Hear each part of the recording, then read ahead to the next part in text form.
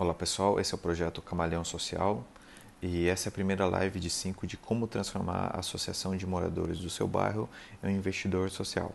Essa primeira live irá falar de crowdfunding ou financiamento coletivo e a plataforma usada será o Cartarse.me, a mais conhecida do Brasil. Vamos lá? Aqui no site você vai em Comece seu projeto.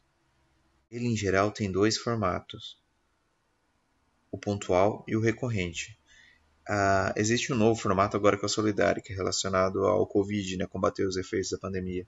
E eles funcionam em outros dois formatos de arrecadação, o Tudo ou Nada ou Flex. O Tudo ou Nada você recebe apenas se atingir sua meta de 100% ou mais. O Flex não, você recebe o valor atingido.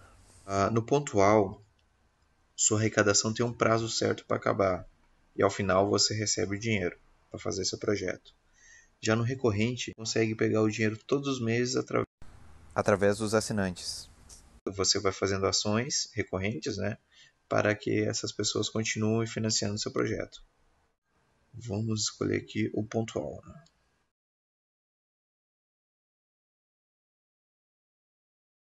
Aqui você já começa seu rascunho.